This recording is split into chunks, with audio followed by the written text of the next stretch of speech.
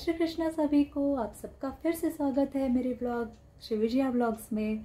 आज का जो पूरा दिन था मेरा, वो पूरा दिन एक्चुअली पूजा पाठ में गया। तो मैं ब्लॉग की शूटिंग बहुत कम कर पाई, क्योंकि जहाँ पे हम मेडिटेशन कर रहे हैं, जहाँ हम भगवान को ध्यान कर रहे हैं, वहाँ पे फ़ोन कैमरा ऑन करने का या वीडियो बनाने का मन ही नहीं करता। लेकिन एक आज की इतनी अच्छी इवेंट थी जो मैं शेयर करना चाहूँगी। आज हमने बनाया कृष्णा कॉन्शियस बर्थडे ऑफ़ रघुवीर प्रभु। तो उसकी कुछ झलकियाँ मैं आपके साथ शेयर करना चाहूँगी। तो चलिए देखते हैं। मैं अक्सर इस्कॉन चली जाया करती हूँ। वहाँ पे मैं क्लासेस अटेंड करती हूँ और कीर्तन अटेंड करती हूँ और ये करके मुझे बेहद सुकून मिलता है। क्योंकि श्री चरणों में जब आप कुछ भी करते हो सेवा भाव से, श्रद्धा भाव से तो आपको जो तृप्ति मिलती है ना वो शब्दों में बयां की ही नहीं जा सकती। और आज तो वहाँ जाने का एक बेहद ख़ास कारण था। आज था रघुवीर प्रभु जी का बर्थडे, जो तेरह साल की अवस्था से श्री चरणों में अपनी सेवा दे रहे हैं। तो इनका बर्थडे कैसे मिस कर सकते थे? चलें, सबसे पहले मेरे साथ श्री कृष्ण के दर्शन करें। तो बर्थडे सेलिब्रेट करने के लिए मैंने एक उमदा सी केक को हैप्पी कृष्णा कॉन्शियस लिख के कृष्ण भक्ति के रंग में रंग दिया। उसके बाद मैं उसे लेके पहुँची सीधा इस्कॉन जिसे हैप्पी दिवाली जैसे सजाया गया था, जहाँ पे रघुवीर प्रभु जी ने केक कटिंग की और उनका बर्थडे सेलिब्रेट किया गया। अब मैंने केक पे हैप्पी कृष्णा कॉन्शियस ही क्यों लिखा है, ये आपको आगे की वीडियो में पता चलेगा। तो चलिए देखते हैं। चलिए मेरे साथ आप भी अटेंड करें Krishna conscious birthday celebration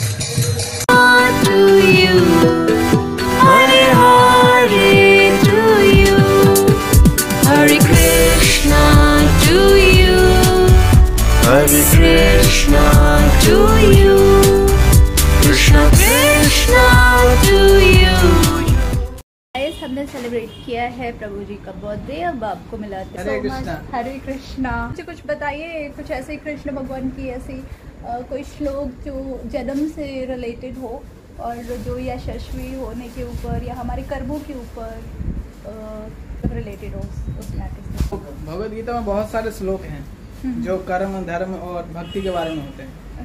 हैं। तो उसमें से एक श्लोक है सर्वधर्म परित्यज्य मामेकम शरणम ब्रज मतलब सभी धर्मों को त्याग कर भगवान कृष्ण की शरण में आइए क्योंकि जो भक्ति करने के लिए जैसे बहुत सारे देवी देवता हैं तो वो क्या है? एक पेड़ के जड़ है।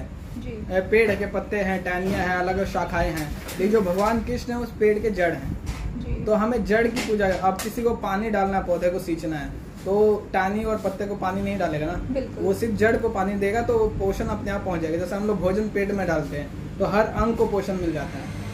तो उसी प्रकार जब हम कृष्ण की शरण में जाएँगे तो हमारे हर एक देवी देवता जितने भी सब पसंद हो बताइए कि हम लोग ये कृष्णा कॉन्शियस बर्थडे क्यों बोलते हैं? हैप्पी बर्थडे की जगह पे हम कृष्णा कॉन्शियस बर्थडे एक्चुअली जो कृष्णा कॉन्शियसनेस बर्थडे और जो भौतिक लोग बर्थडे मनाते हैं वो बर्थडे मनाते हैं अपनी एक साल उन्होंने बर्बाद कर दिया उनका खत्म। लेकिन हम लोग कृष्णा कॉन्सियसनेस इसलिए मनाते हैं कि वो भगवान से कनेक्ट कर देते हैं। जी। कुछ भी होता है तो भगवान से हम लोग के लाइफ में कुछ भी होगा तो उसे भगवान से कनेक्ट करके करते हैं तो वो स्पिरिचुअल हो जाता है। Hare Krishna. Hare Krishna happy birthday happy Krishna conscious birthday हम डिवोटीज इस्कॉन जाए और शीला प्रभुपाद से मिले बिना चले जाए ऐसा नहीं हो सकता।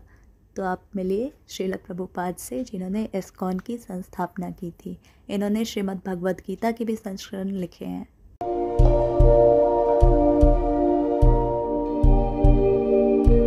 इस्कॉन इस्कॉन का फुल फॉर्म ही है international society for Krishna consciousness. Prabhupada का ये मानना है कि अगर हम समुद्र की एक बूंद है ना तो कृष्ण वो पूरे समुद्र है। हम एक लिमिटेड कॉन्शियसनेस है, पर कृष्ण जिनकी हम पूजा करते हैं, अर्चना करते हैं और जिनका हम ध्यान करते हैं, वो है अनलिमिटेड कॉन्शियसनेस आपको मेरी बात अभी समझ में नहीं आ रही होगी, इसलिए मैं इस बारे में अभी कुछ ज़्यादा बातें नहीं करूँगी। फ़िलहाल आपको मैं ये रिकमेंड करूँगी, श्रीमद् भगवत गीता। ये प्रभुपाद के संस्करण वाला भगवत गीता, आप एक बार पढ़ें, फिर आपको मेरी बातें शायद अच्छे से समझ में आएँगी और फिर आपको कृष्णा कॉन्शियसनेस भी समझ में आएगा। तो आज के लिए इतना ही। मैं आपसे नेक्स्ट वीडियो में मिलूँगी और हाँ ये जो एक किताब थी जिसकी रिव्यू मुझे अभी करनी बाकी है ये रिव्यू मैं करूँगी क्योंकि ये बुक अभी मैंने पूरी पढ़ी नहीं है। तो पहले इस बुक को कुछ चैप्टर्स बचे हुए हैं, उसको मैं अच्छे से पढ़ लूँ, फिर इसके अंदर जो खजाना है, उसे मैं आप तक ज़्यादा अच्छे से पहुँचा पाऊँगी। तो इसी थॉट के साथ जय Shri Krishna. Happy life happy living खुश रहें बाय